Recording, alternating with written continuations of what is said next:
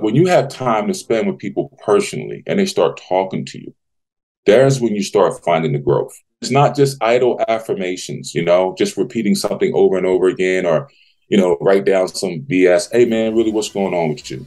My guy, what's really going on? Why you not happy? What you afraid of?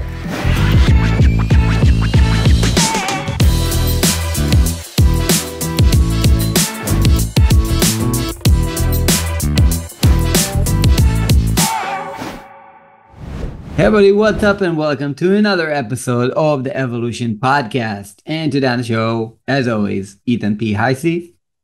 Well, hello everybody. Welcome back. It's going to be another great episode. We got some really good stuff to talk about today. Awesome. And Mr. Terrance Johnson.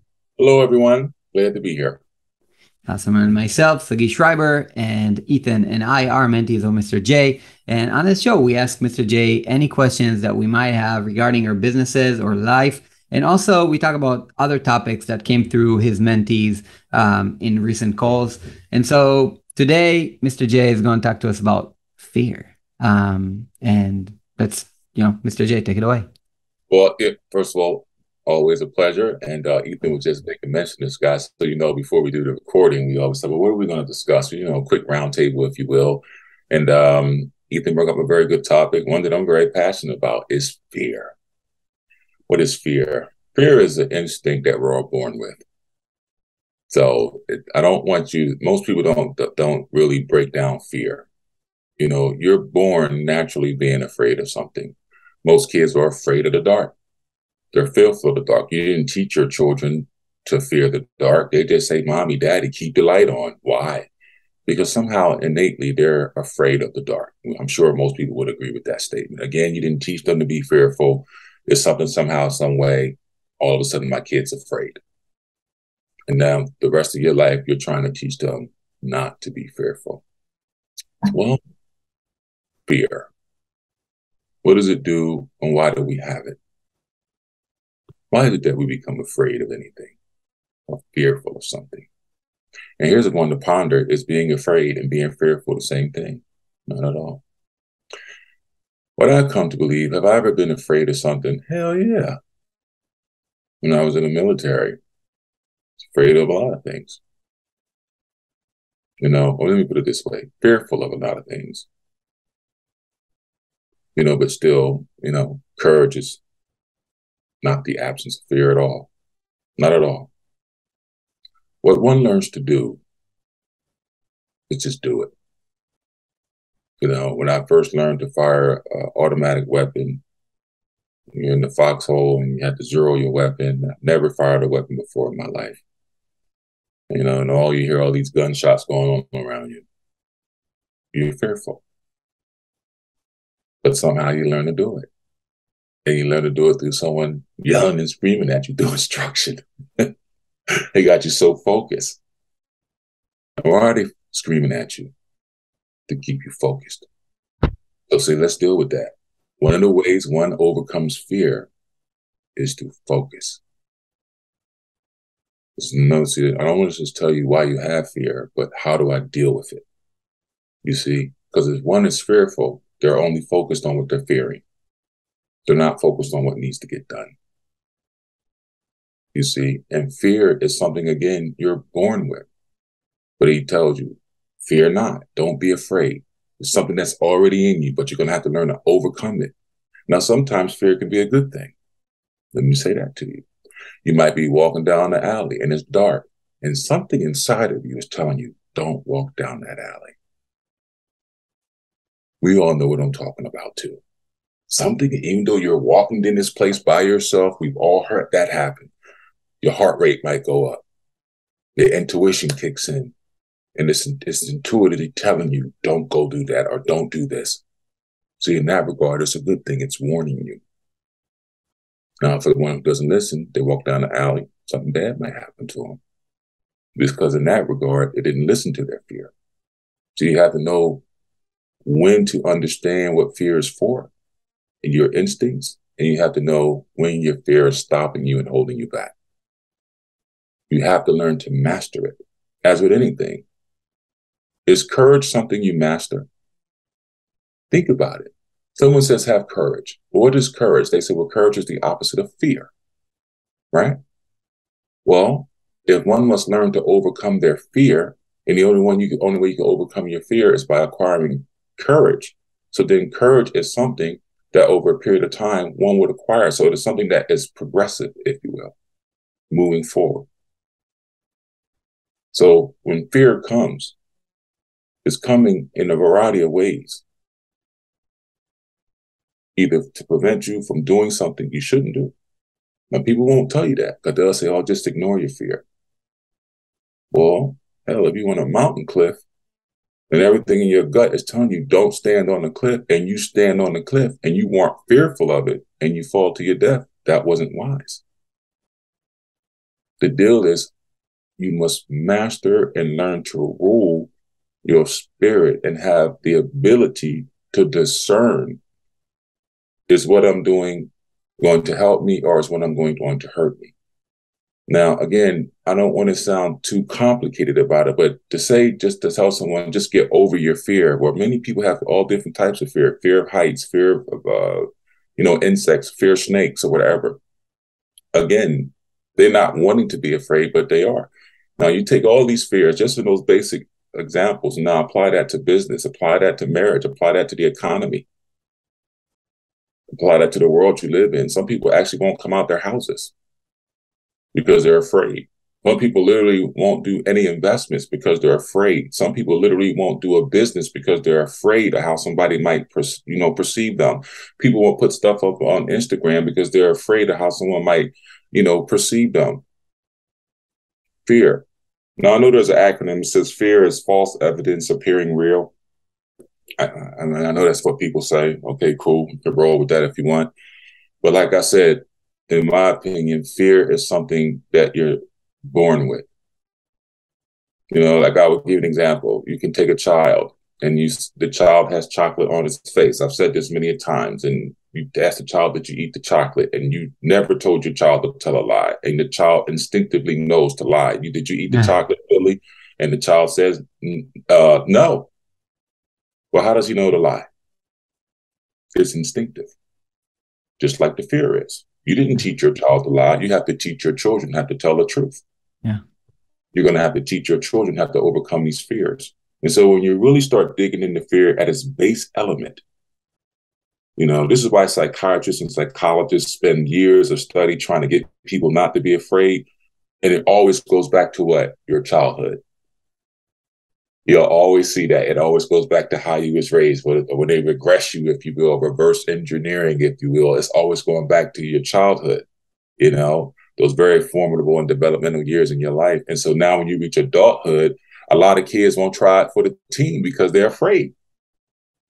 A lot of guys won't go to the gym because he might be a little skinny looking, right? And he's afraid to go in the gym because everybody's like ripped, and he's like, oh no, nah, man. And he's afraid not realizing, you know what, those guys didn't always look like that. They used to look like him. Now you have the guy who went to the gym, and even though he felt that way, he did it anyway. And that's the guy who now looks that way. So it's it's really deep, man, when you really think about it. Everyone does not have the same emotional uh, fortitude or the intellectual wherewithal to mm-hmm. help themselves solve their own problems. And fear is a really big problem for a lot of people. It really is, and it's not as uh, complicated as people make it out to be. And uh, it's, it's something that can be easily dealt with. It's always going to come back to the individual facing themselves, and you know, just convincing themselves that I can do it. So, what are your thoughts on Johnson, that? Mr. Johnson? You remember when you told me, and you may not, but you said, "I believe that fear is something um, or that to fear something that has never even happened is a form of, of insanity. Insanity. That's right. And I would tell, yeah. yeah, yeah, yeah, I remember that. Yeah, I, I, you know, I, when you when you mentor guys in business, and they're telling you things that you know they don't share, and I'm not going to go into any detail that about that, obviously, but they're telling you what they're really feeling. And I would say to them, my brother, to worry about something that hasn't even happened is literally insanity. And to worry about it to such an extent that it can keep you up at night. It didn't even happen. That's how a lot of people live. That's how a lot of people, what man, I can't get any rest. Why? I'm up worrying. About what? You're worrying about what could happen. Even though it hasn't happened. Think about it. So you and then here's the worst part about it. Here's the kicker. Remember this, here's the other part of that, Ethan. The other part of that is this.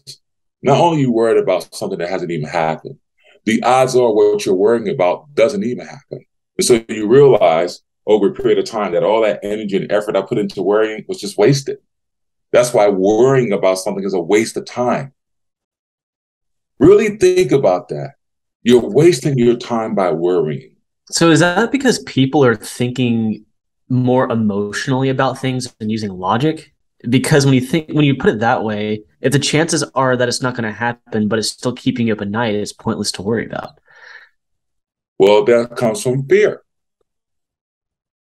See, it's the fear that causes the worry. You see, if I'm fearing something, and now I'm worrying about it, and it's me worrying about what I'm fearing that hasn't even happened that makes me insane. This is the cycle of worry. This is yeah. really think about what I just said to you. This is the cycle of worry. You're worrying about something that hasn't even happened. But in your mind, you're playing it over and over, whatever it is, to a point so much that it stresses you out. You're worried. You heard people say they had a nervous breakdown or whatever. And when I start talking to guys, I said, Well, did that happen? They're like, No. So then what did you learn from that? And then there's silence. What did you learn from that experience? Not just that, oh, that didn't happen. Let's just move on with the conversation. Bullshit. What did you learn from worrying about something and then it, what you were worrying about didn't happen? What did you learn as a person, as a human being, as a man, as a spiritual? What, what are you gaining from that? Well, you should learn not to worry. Because if you're worrying about it, first of all, then it must be out of your control. Because most people don't worry about things that they can control. Would you agree with that? So then the fact that it's out of your control is what's making you worry. What's making you worry is the fear that you have no control. Mm-hmm it's it's it's it's, it's an effect. It's a, it's not just get over your fear. It's not oh, and the only reason you're fearful is because you worry. And then why would you worry? Because when you were in the position before where you needed to worry and what you were worried about didn't happen, then you should realize that me worrying about something doesn't change anything. But you say, Mr. Johnson, you know, is that true? Well, how many people are on, you know, I don't know what they give them nowadays. Many of drugs they've give them prescription meds all the time to deal with anxiety, worry, depression. Notice these are all emotions. These are all emotional states. I want you to see that. This is why I try to tell my guys stay calm, mm-hmm. stay in control at all times, even when you want to explode. You see, men can't explode, man you get locked up, you go to prison, they look at you like you're crazy. We have to deal with things in a different way. That's why I thank God we have a gym and sports and things of that nature because men need that. We do. We need, we're aggressive by nature.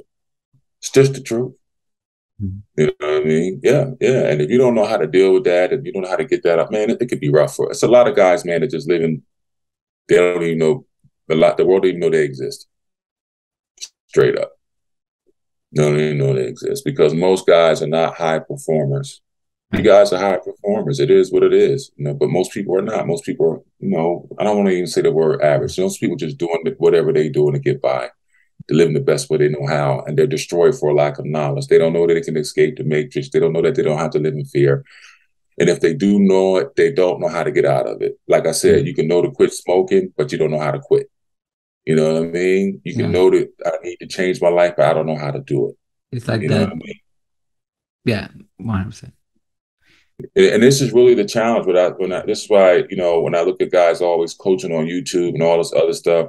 I mean, I get it, but the fact of the matter is, man, unless you really spend some time with a person, that's why I don't. I only take no no more than thirty. I can't get to no more than that. I, you can do everybody. Mr. J, you know, do a, a, a, a, mastermind, do a huge this, do that. It's just cool. You know, you can reach a lot of people and make some money and impact. But when you have time to spend with people personally and they start talking to you, there's when you start finding the growth. Mm-hmm. There's yes. And it's not just idle affirmations, you know, just repeating something over and over again or, you know, write down some BS. Hey man, really what's going on with you? My guy, what's really going on? Why you not happy? What you afraid of? You know? And a lot of times men don't have anyone around them to inspire them because you have to be the inspiration in your home. You're the inspiration in your business. You're the inspiration in your home. You're the right. you're the inspiration right. for everything. Right. You know, yeah. it's a lot. You guys are carrying a lot. But so who inspires that guy? Who's giving that guy say, "Hey, I'm proud of you, Ethan. Hey, man, Sagi, I'm proud of you, man." Because you know what? You making it look easy. Mm-hmm. Yeah, I mean, I man, I, I I think like because we just got to wrap it up and I, I think like this has been like a great topic and we got now into kind of like us controlling our emotional states um what is like one thing and one thing only that we can end with mr j that you say do this every day or do this right now and you'll make sure that your trajectory now changes regarding your controlling your emotional state no amount of money can ever buy you a minute of time Mm-hmm. Yep. Say that to you again. No amount of money could ever buy you a minute of time. Your time is your most valuable asset. Use it wisely. Love it. Love it. Thank All you right. so much. Yeah, that was awesome. Um, Always a pleasure, guys. Guys, thank you so much. Uh, everybody who's listening to the show, guys, if you got value from this and you enjoy listening, and tuning into Mr. J, and um, in the show, please rate us on Apple Podcasts and Spotify. That would go such a long way. You don't have to do it now if you're driving or something, but later on in the day, just remember us. Come back and rate us um, actively, please. That would mean the world to us. We really want to read your comments and your your feedback and, and to see you guys rating the show. That would expose it to more people. So that's one thing. Second thing is like share it on social media. Let us know that you're here, that you're getting value. We would love to hear from you. We would love to also gather your questions. If you have any questions, we can also uh, answer them here on the show. So thank you again. Uh, and Ethan, Mr. J, see you next week. Thanks, guys. Bye. Cheers.